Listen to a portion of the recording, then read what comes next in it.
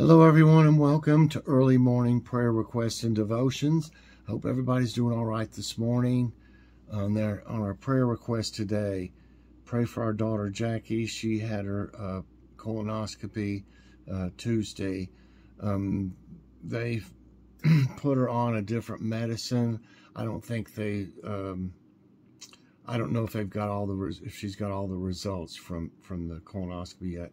But they put her on a different medicine and one she's already on, and uh, we'll just have to see. I think it, they said two months or something that should start helping. I, I hope so. Um, Patty's husband Richard's home now and continues with blood thinners. Please continue to pray for him. Pray for the 18 students and the driver that were taken to the hospital after the school bus they were in crashed. That was in Kentucky. Pray for Amy Kay's aunt. She's been having treatments for her autoimmune and she's very weak. And I know how that can do, you know, because the ones I get will just make me really weak for several days. So uh, I know how she must feel. Um, pray for Ruth's brother. He was hit by a car while walking. Um, it was a hit and run. So pray that he'll be okay.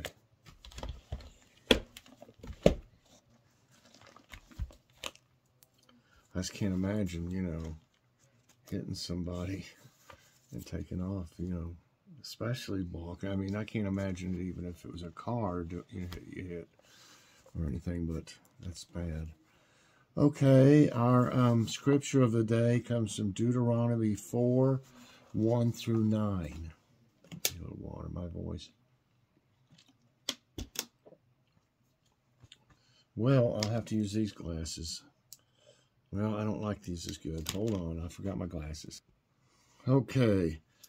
Now, Israel, hear the decrees and laws I am about to teach you. Follow them so that you may live and may go in and take possession of the land the Lord, the God of your ancestors, is giving you.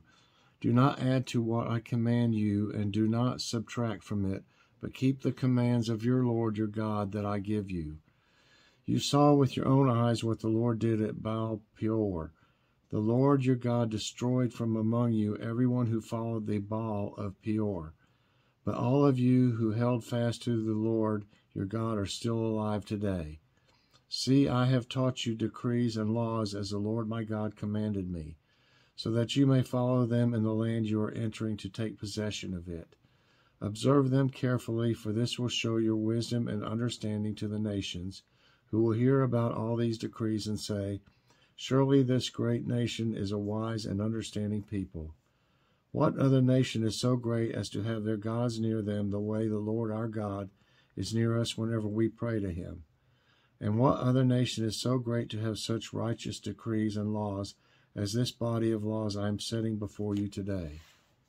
Only be careful and watch yourselves closely so that you do not forget the things your eyes have seen or let them fade from your heart as long as you live. Teach them to your children and to their children after them. Okay.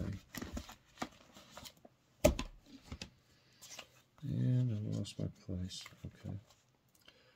And our devotion today is entitled Let Keep Your Guard Up.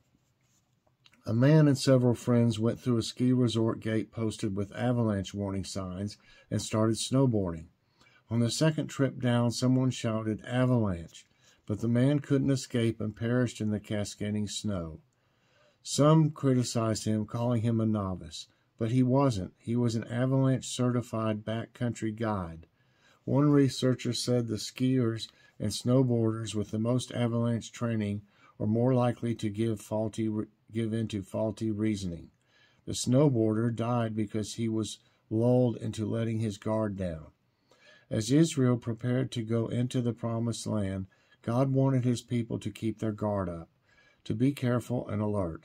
So he commanded them to obey all his decrees and laws, and remember his past judgment on those who disobeyed. They needed to be careful, to examine themselves and keep watch over their inner lives. This would help them keep their guard up against spiritual dangers from without and spiritual apathy with, from within. It's easy for us to let our guard down and fall into apathy and self deception. But God can give us strength to avoid falling in life and forgiveness by His grace when we do. By following Him and resting in His wisdom and provision, we can keep our guard up and make good decisions. When do you tend to let your spiritual guard down? What will you do to follow God's wisdom and remain alert to dangers to your faith? Dear God, please help me to remain alert and follow you in loving obedience. And Lord, I want to pray today for everyone on our prayer list. Please help all of them with their different needs. In Lord's name I pray. Amen. I hope you all enjoyed this early morning prayer request and devotions. If you did, I hope you'll press that like button. Also, subscribe if you haven't already and share this out and hit that so you get all my videos as soon as they come out. I hope everybody has a great morning. I'd love to see you later on a morning coffee break. Bye, everyone, and God bless.